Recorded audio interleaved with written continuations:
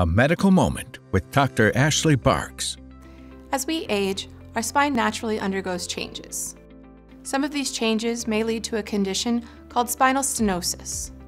I'm Dr. Ashley Barks, a neurosurgeon with Kansas Spine and Specialty Hospital. Spinal stenosis affects about 10% of the population. It occurs when the spinal column narrows or becomes compressed. In the lumbar spine or lower back, stenosis is most commonly caused by osteoarthritis. Common symptoms include pain, numbness and tingling, or weakness in the legs or feet.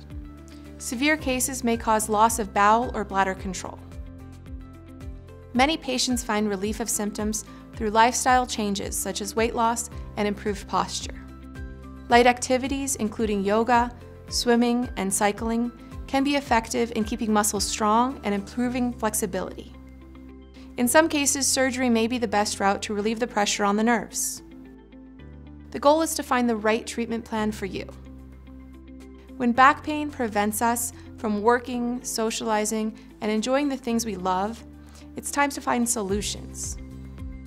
I'm Dr. Ashley Barks with Kansas Spine and Specialty Hospital, helping you get back to doing the activities you enjoy. Kansas Spine and Specialty Hospital proudly supports KPTS, public television for Kansas.